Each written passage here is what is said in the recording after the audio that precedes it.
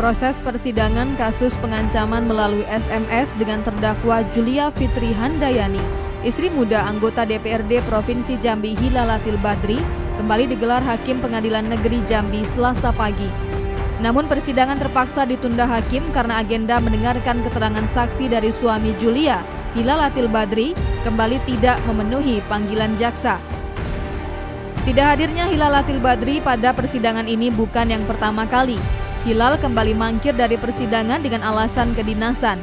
Hal ini diungkapkan jaksa penuntut umum Kejari Jambi yang mendapat alasan dari Hilal karena sedang dinas di Kabupaten Sarolangun.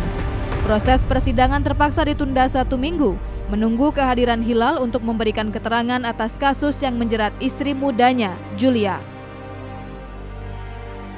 Aryan Piko, Jambi TV.